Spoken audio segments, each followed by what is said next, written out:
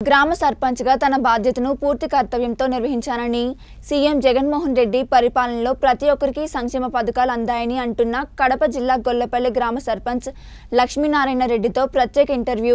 ఒంటిమిట ఒంటిమిట్ట మండలం గొల్లపల్లి సర్పంచ్ ఈరోజు నైన్టీ న్యూస్లో ఈరోజు పాల్గొన్నారు. అతను అతను సర్పంచ్ అయినాక గ్రామంలో ఎటువంటి అభివృద్ధి కార్యక్రమం చేశారు అలాగే ప్రజలకు మంచి సమస్య పారిశుద్ధ్యం పైన ఈరోజు మన నైన్టీ టీవీతో మాట్లాడడానికి ఆయన మన ముందు సార్ నమస్తే సార్.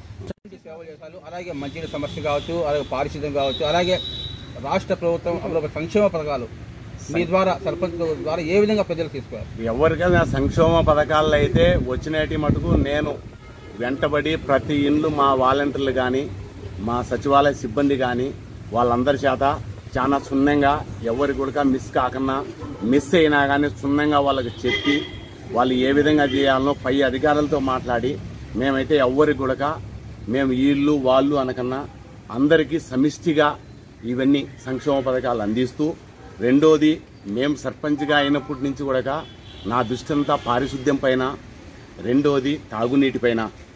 మాకు గతంలో ఫ్లడ్ వచ్చినప్పుడు కూడా రెండు రోజులు పొద్దుసం మాకు. నీళ్ళు లేక కరెంటు లేక చాలా ఇబ్బంది పడినారు. అయినా కానీ నేను ఆ సమస్యను ట్రాక్టర్ పెట్టుకొని మా అదే రోడ్డు మీద నీళ్ళల్లోనే ఒంటిమిట్టి నుంచి సప్లై చేసి క్యాన్ వాటర్తో అందరికి తాగేదానికి నీళ్ళు ఇప్పించినాము. కానీ మాకు హౌసింగ్ డిపార్ట్మెంట్లో ఇది జగనన్న కాలనీలో దవంతరంపల్లిలో ఒక అది ఇల్లు శాంక్షన్ అయినాయి. వాళ్ళకు కూడా మోటార్ బిగించి సింగిల్ ఫేస్ మోటార్తో ట్యాంకీ పెట్టి ప్రతి ఇంటికి కుళాయి పెట్టి అలాగే అలాగే లక్ష్మీనారాయణ అంటే మండల పరిధిలో ఒక పేరు. అంటే అధికార పార్టీ కావచ్చు ప్రతిపక్ష పార్టీ కావచ్చు ఉండేది ఉండేట్టు కుండ బద్దలు కొట్టి న్యాయం ఏ పక్క ఉంది ఆ పక్క ప్రజల్లో మంచి పేరు వచ్చింది. ఇలా ఎలా సంపాదించారు మీరు? నేనంటే నేనైతే అది ఒకటి పేదవాడు అంటే ఎవరైనా సరే అర్హుడు అంటే అది చేయకపోతే నేను వదిలిపెట్టను వాళ్ళు వెంటపడతాను. నేను నయంగానో స్వయంగానో ఏదో ఒక విధంగా వాళ్ళని రిక్వెస్ట్ చేసుకొని పనిచేయమంటాను లేదంటే ఏ విధంగా అయినా నేను వాళ్ళని వెంటపడి పేదోళ్ళకి పది మందికి పని చేపిస్తాను మండలంలో.